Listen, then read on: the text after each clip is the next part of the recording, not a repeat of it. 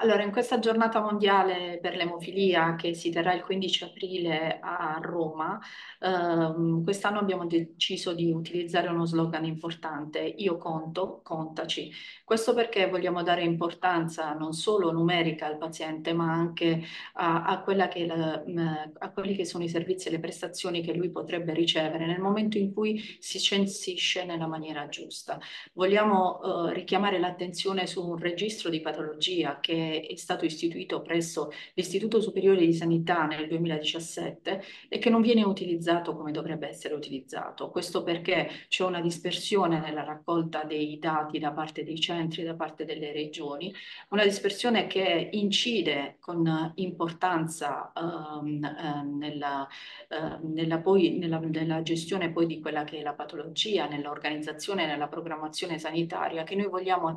attenzionare all'interno di questa giornata e spiegare come sia importante e fondamentale per noi la raccolta di, del, dei nostri dati all'interno di quel registro per ottenere quelle prestazioni e quei servizi per noi essenziali. Quindi eh, speriamo che attraverso i nostri ospiti eh, il 15 aprile che saranno eh, la società scientifica AICE che eh, raccoglie i centri eh, di emofilia su tutto il territorio nazionale, l'Istituto Superiore di Sanità e il CNEL che è la terza Camera dello Stato e che sarà eh, organo propulsivo, propositivo nei confronti del governo per quelle che sono le nostre richieste in questa giornata che ehm, alla, con l'auspicio che possa essere utile per tutti, eh, non solo per